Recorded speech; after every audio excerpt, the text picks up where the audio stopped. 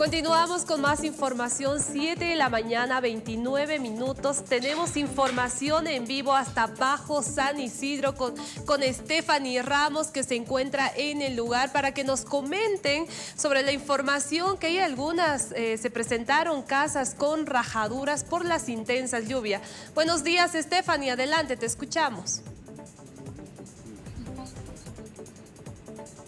Gracias Grecia, efectivamente no hay un panorama que sea bastante beneficioso para esta zona debido a las intensas lluvias y a lo que señalan los vecinos la falta de tareas de prevención, pero me encuentro junto a ellos para que conozcamos los testimonios.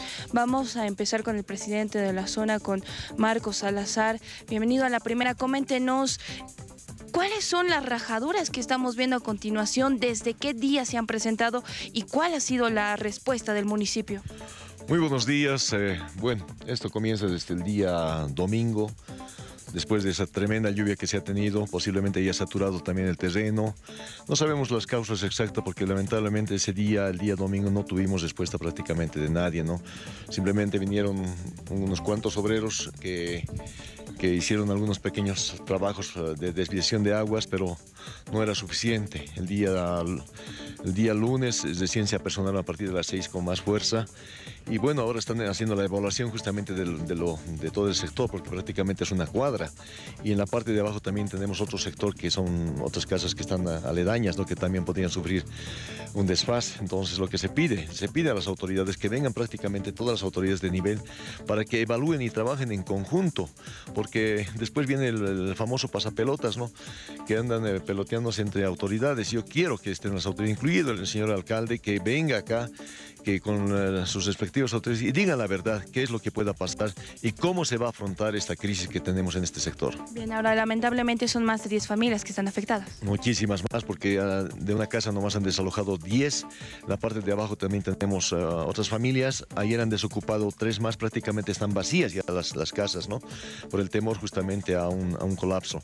Entonces pido encarecidamente, una vez más, a las autoridades que estén presentes acá en este sector y podamos ver cuál va a ser la forma de tarea de, riesgo que se va a afrontar en este sector. muchísimas gracias, don Marco, pero también estamos viendo a continuación lo que se trata de un multiservicio, un taller, y estamos junto a quien está a cargo. ¿Cómo está? Buen día, perdón que lo moleste.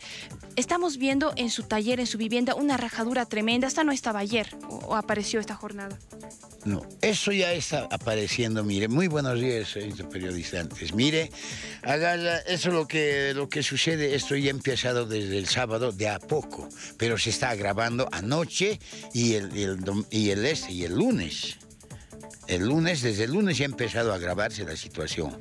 Ahora, si entramos a mi domicilio adentro, ya está eh, hay, un árbol que ha colapsado, más una vivienda, la mitad de una vivienda ya se ha ido abajo. El árbol ya ha avanzado más a la otra casa. Pero a la alcaldía no vienen con nada, por lo menos a talar ese árbol porque está afectando a la otra vivienda. Pero ahora esta casa se ha inclinado más. Aquella, anoche ya lo hemos observado.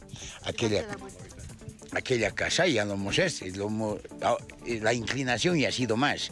La alcaldía haga esto, es, esta, esta zanja de desnivel tenía que haber hecho, a un principio hemos pedido nosotros que se haga en tiempo seco, porque nosotros vivimos en esta zona desde que hemos nacido. Entonces, lo que sucede ahora acá es que recién lo han hecho ayer, pero ¿qué le han puesto bolsinares? Si esto hubieran hecho al principio, cuando nosotros hemos solicitado, nada de esto hubiera pasado, porque el agua hubiera circulado, hubiera corrido todo el agua normalmente por ahí, como le hemos dicho.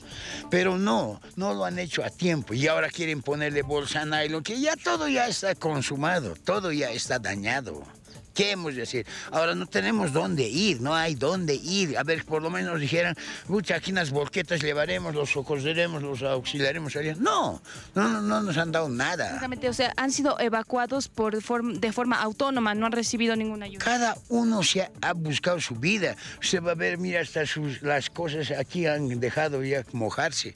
Nadie ha venido a ayudar, nadie. El, el domingo esto era, era un pánico, un terror total porque, ya no sabían la gente, como digo, eran 10 familias viviendo acá, más los otros familias, todos han salido de golpe.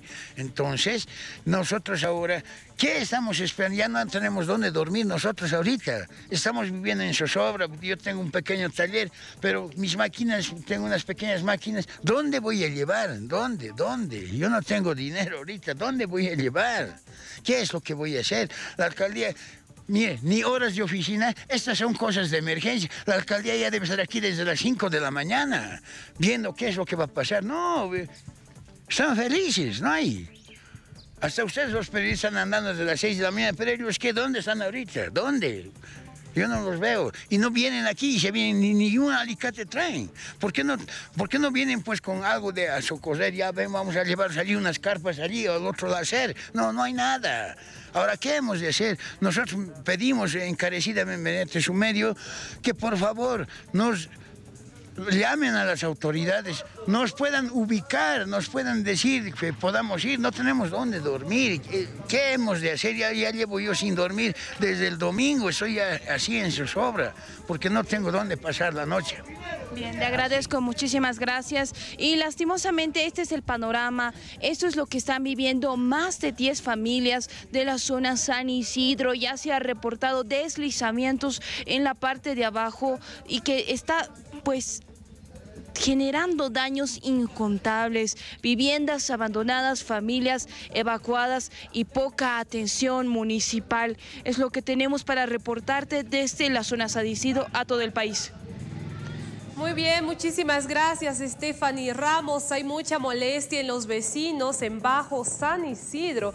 Piden la presencia de autoridades en este lugar. Como bien lo mencionaba Stephanie, hay rajaduras en algunas casas, 10 familias afectadas, así que se le pide la presencia de autoridades en Bajo San Isidro. Cerramos nuestro contacto en vivo con Stephanie Ramos y tenemos que continuar con mucho más de la primera. Música